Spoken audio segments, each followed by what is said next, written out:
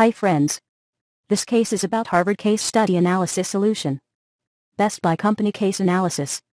Best Buy Company is one of the largest electronics products retailers in US, and it accounts for a total of 20% of the total market share of the country.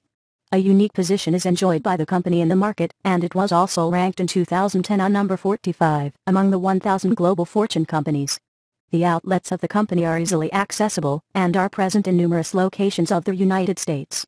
A strong network is maintained by the company which enhances the brand image and the economies of scale of Best Buy Company. Thanks for watching this video.